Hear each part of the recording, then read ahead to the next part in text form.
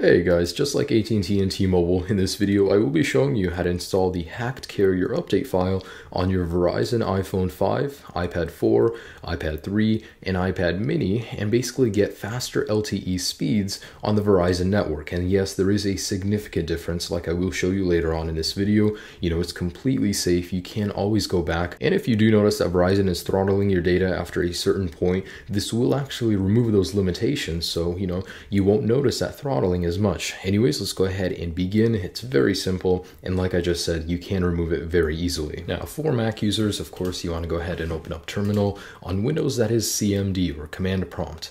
So once you do have it open, I will provide this text down below in the description. For Mac, you can just go ahead and copy and paste it right into that prompt. And on Windows, you can either copy and paste it or enter it manually. I would personally enter it manually.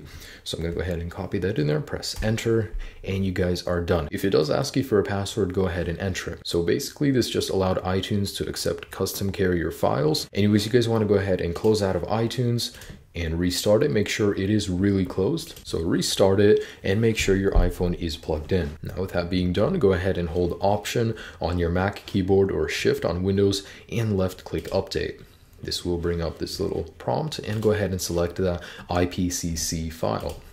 It will update your iPhone carrier settings and that's that. You guys are now done on your computer. So on your iPhone, go ahead and quickly reboot it. Now, as a little disclaimer, I do want to mention your results may vary. It all depends on your location, you know, the tower location around you. You may not see the results that I'm getting, but initially I did have 33 megabits download speed, and that went up to 41 after this carrier update. So, you know, I'm happy with that. Not only does it fix my throttling that Verizon puts upon us, you know, I also get faster data speeds in my location. So, if this does not work, I will also provide an original carrier file for your Verizon iPhone 5 and iPads that you can go ahead and revert to just in case you know you don't see a difference and you want to go back to stock. Basically follow this video once again but using the stock carrier file. And I do hope this does work for you guys, you know, especially if you have the unlimited data plan like me. I'm grandfathered into it from a long time ago and it just works better now that I have faster data speeds and no throttling.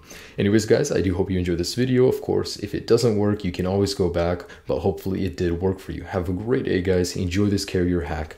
Peace.